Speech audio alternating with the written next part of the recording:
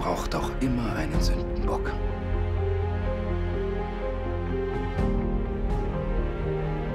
Hauptsache, sie haben einen Schuldigen.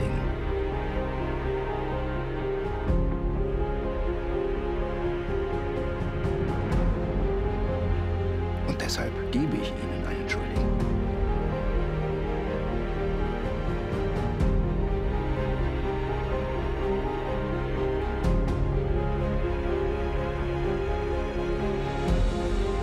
Wir haben eine Hexe unter uns.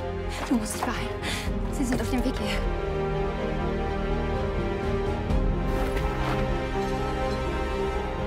Dafür kommt ihr auf den Scheiterhaufen.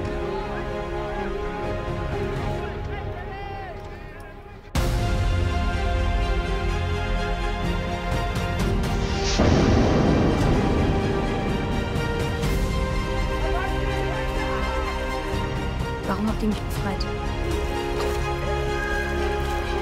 Sieh genau hin, Theodor. Was siehst du?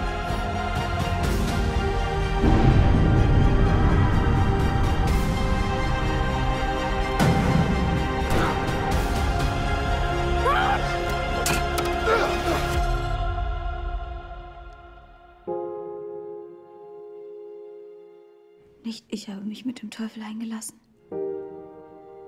sondern ihr. Das mag sein. Aber brennen werdet trotz alledem ihr.